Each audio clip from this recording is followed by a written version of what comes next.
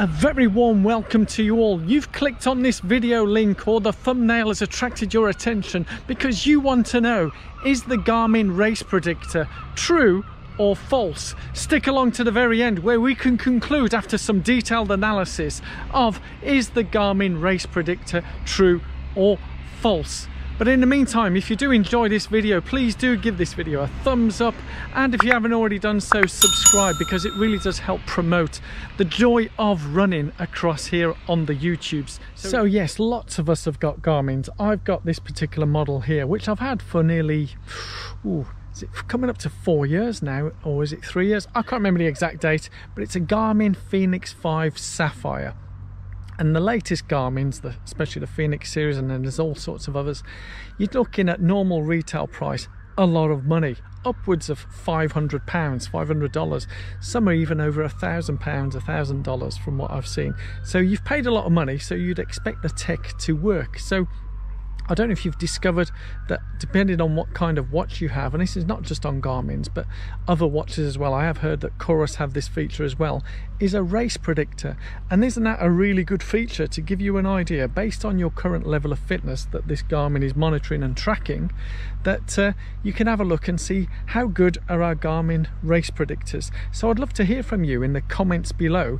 Check your Garmin race predictor and leave it in the comments how your predictor compares to your current personal bests if you've run in those distances. And the Garmin race predictor does show four distances which is 5k 10k half marathon and marathon. So leave it in the comments below how it compares. I will be going through those of my own personal ones later towards the end there so keep watching and I'll go through that this isn't the only way of predicting the race because there are other factors that we need to engage with if you have been watching my channel for a number of months now, or years, however long it's been, you will know recently I did publish a uh, video because a lot of people have been commenting, especially the regular subscribers, that VO2 Max isn't the be all and end all of how, how good our fitness and how our running will be. There are three factors that we need to look into, which is VO2 Max, lactate threshold, and also running economy. Now, our smartwatches, or maybe not so smart, depending on how you look at it, does show a measurement for our VO2 max and also looks at our lactate threshold and works that out based on our heart rate, speeds, and so on and so forth. So it does take that into account. So, how accurate is the race predictor? Well, it's quite a way off for me and I'll go through the details as, as I said uh, towards the end. But the big factor, big, big factor, and there is small print within the, the Garmin website as well, saying that um, it's only an indication, should only be taken as guidance, it's not gospel or whatever. But um, but yeah, call me whatever, but I'm thinking if I've spent close to uh, a thousand pounds on a technical bit of item, I'd like it to work. A bit like if I go into a coffee shop and I spend four or five pounds on an expensive piece of coffee and it doesn't taste like good coffee. Yeah, I'd want my money back. But anyway, that aside, the biggest factor which I don't think these smartwatches take into account is running economy and that is how effective our body is at converting oxygen and through our body and convert that to energy. I don't think these smartwatches can measure that. And I will conclude that because when I go through the details, and hopefully you've left it in the comments below, how your race predictor on your smartwatch compares to your actual PBs. So let me go through in detail, um, distance by distance, the times on the race predictor and what my current PBs are and the differences. Yeah, let's do that now. So before anyone thinks I've committed all of this to memory, I have written it down and I have my uh, notes here. So I don't make this up as I go along, yeah? So if you are new here, a lot of time and preparation goes into these videos. May not be lots of glossy stills and music and all that stuff, but it's all pretty factual. So here are the facts based on what my watch tells me, what my current PBs are, and the differences. So we'll start off with the 5K the predicted race predictor says 17 minutes and 2 seconds. Now, my current personal best at 5k is 18 minutes and 18 seconds, and that was completed, well, over two years ago, nearly three years ago. Yeah, so maybe I would have got a bit slow when I'm getting older, but the difference there is one minute and 17 seconds. Now, to a lot of people who may not know as much as some of our regular subscribers, that may not sound as much, but in 5k times, when you're looking at around 17, 18 minutes, one minute and 17 seconds is, yeah, a long way off. So that's the 5k. So the 10k race predictor said 35 minutes and 20 seconds. My current PB is 37 minutes and 52 seconds. So that's 2 minutes and 32 seconds off. Again, in my opinion, that kind of difference is almost not quite a country mile. We're coming on to a country mile soon when we talk about the half marathon predictions, but you can see there's a consistent it's it's out of kilter, so to speak, yeah? How do your predictions compare so far? Leave it in the comments below. Half marathon distance. Yes, this is where it's starting to get really juicy. So, half marathon race predictor is 1 hour, 18 minutes, and 4 seconds. Yeah, I would so love to be able to do that right now. Yeah, that my PB from this year, which was at the Cambridge Half Marathon, is 1 hour, 23 minutes, and 46 seconds.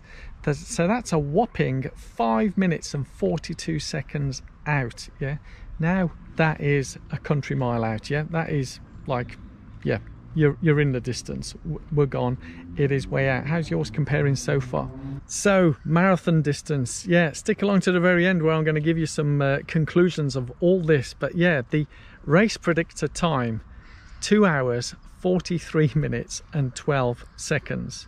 My current pb which was in chicago although manchester this year was only about 30 seconds off but my current pb from uh, almost over three years ago is three hours, six minutes, and five seconds. So that is a whopping 22 minutes and 53 seconds out. That's almost 23 minutes out, which, as you know, around the three hour mark, well, it's it's not even a prediction, is it? Really?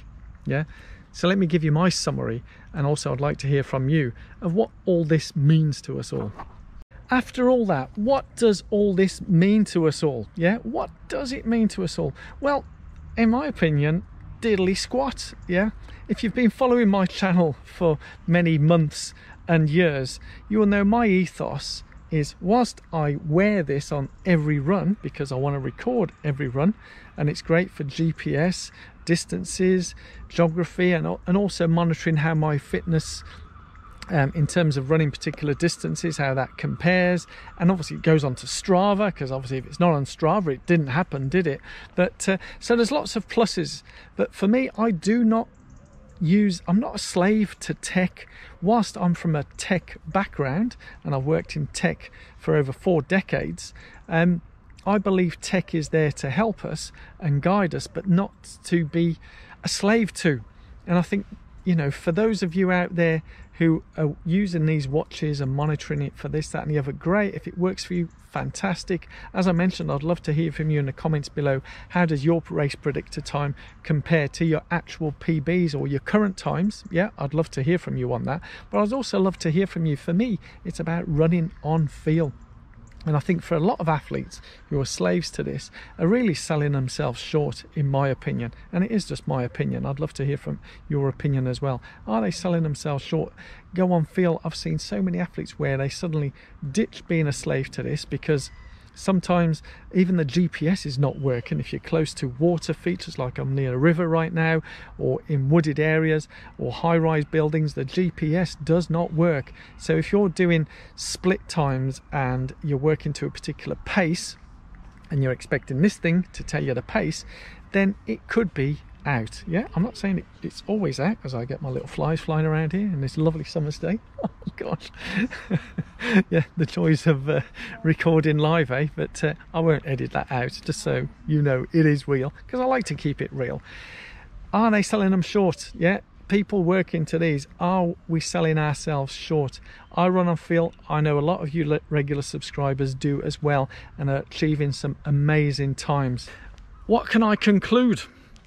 Well, it is just for guidance and also it's a bit of fun. I'm sure I've read somewhere and I might have to do a bit of digging that uh, it is just a bit of fun really and a bit of guidance with the uh, tech. But if you ever see people using this and I'd love to see if anyone's race predictor matches their actual real times or is it actually underestimating it for you? Because that could be the other side. Is it underestimating the actual times that uh, you can do? So whatever it's doing you can almost say well cast it to one side and uh, work on what you do because the only real time that works is the actual time that you're doing it in. So when we're doing races, and I've seen people debate the differences, as I digress a little, with arguing whether their Strava time, the Garmin time, is different to the actual race time. The race distances is based on your chip time, and uh, and the distance is measured correctly, not by GPS but by a measured meter. So it is true, yeah. So the only times I can go with is the actual race times not race predictors on that so thank you so much for watching that is it on this particular one i may do some more on the, the tech how it's working not working and how it can benefit you because i do love so many features on this but that race predictor my word you know salt pinches take with come to up come to mind Thank you for watching. Please do share with all your friends and family as I'm sure they'd all like to know are their race predictors good, bad or indifferent. Thanks so much for watching. I look forward to seeing you at the next video very, very soon. I thought I'd add a little addendum because I did say stick to the very end, yeah? The addendum here is there are some folks who will say maybe this race predictor is what we'll be doing in a year or two's time or three years yeah? Which is lovely positive and all that kind of stuff yeah? But the thing to bear in mind is when you continue to do consistent training for another year or two your fitness will improve. So guess what happens with the race predictor? That'll get quicker yeah? yeah, if it's monitoring your fitness, you're getting fitter, the race predictor will continue to measure in an incorrect way. As I've seen, as my VO2 keeps increasing and it shows more, it consistently continues to be incorrect. Yeah, so um, we'd like to give some positive spin on that, but uh, sorry guys, it's, uh, you know, you can dream believe and achieve and all that, but uh, the reality is uh, completely different. So, uh, a bit like reality TV. That's not reality, it's all made up, yes, to make things look really good. So, let's stick with real life and not reality TV life. Make sense? Thank you all so much for watching. Really appreciate your time and sticking to the very end. So, very much looking forward to seeing you at the next video. Thank you. Love you all. Bye bye bye.